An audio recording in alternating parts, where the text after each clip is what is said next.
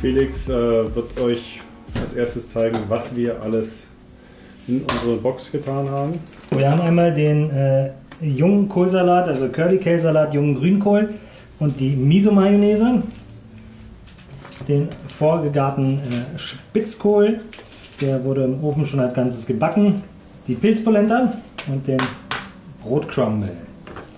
Ja, außerdem brauchen wir einen 5 Liter Topf. Das müsste eigentlich so der größte sein, der es so im jedem normalen Haushalt gibt. Also in so einem normalen Set eigentlich immer der größte mit drin ist. Äh, eine Pfanne, eine Schüssel für den Salat, vier Schüsseln oder Teller und die Miso-Vinaigrette. Dann kannst du dreieinhalb Liter Wasser zum Kochen bringen.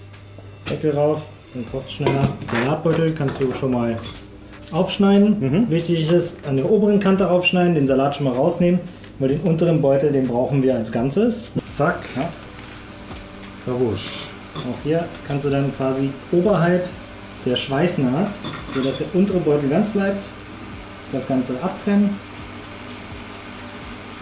Ja, dann kann man das erstmal zur Seite packen. Wasser kocht, dann darf jetzt der Spitzkohl und die Pilzpolenta ins Wasser rein. Mhm.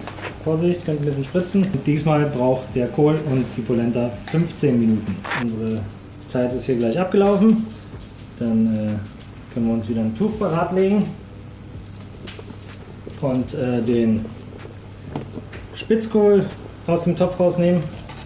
Gut, dass ich den Beutel als zweites reingetan habe. So kann ich den leichter rausnehmen jetzt. Sehr clever.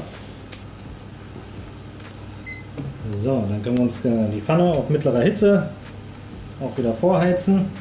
Und dann kommt ein kleiner Schluck äh, von dem Pflanzenöl rein. Mhm. Noch ein bisschen. Wunderbar. Sehr schön. Okay.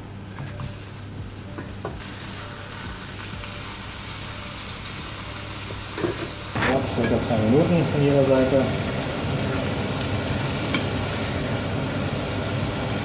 Eine leicht braune Farbe hat. Dann du jetzt schon mal die Teller wieder aus dem Ofen befreien. Dann den Salat marinieren.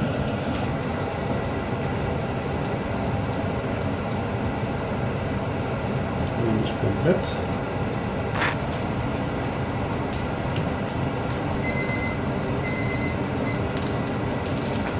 So, haben wir auch unser Signal, dass wir das Püree rausnehmen dürfen. Die Pfanne mit dem Kohl können wir dann auch ausschalten, wenn die richtige Bräunung erreicht ist. Ja, wenn man das rechtzeitig macht, kann er noch ein bisschen kurz liegen bleiben.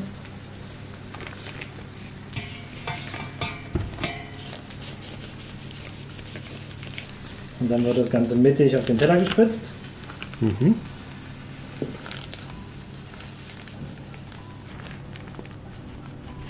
Den Teller verteilen.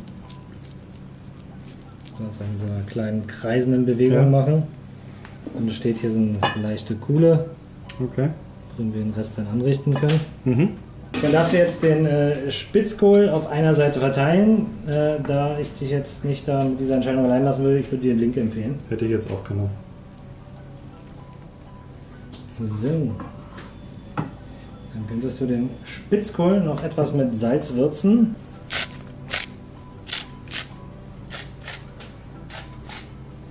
Traumhaft. So, dann darf der Salat auf die andere Seite verteilt werden, in dem Fall in die rechte. Mhm.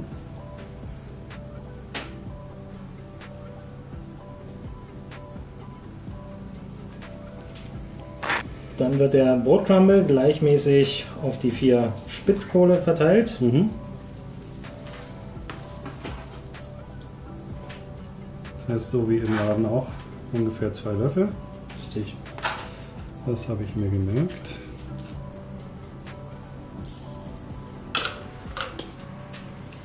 So, und bevor, dann kannst du den, quasi die Mayonnaise nehmen, die Miso-Mayonnaise. Und da schneiden wir ein ganz kleines Eckchen nur ab. Ja, circa 5 mm. Benutzen das dann sozusagen als Spritzbeutel. Richtig. Genau, Eine elegante Bewegung, Zickzackbewegung über den Kohl, Salat ein bisschen verteilen. Ja, fertig ist der Spitzkohl.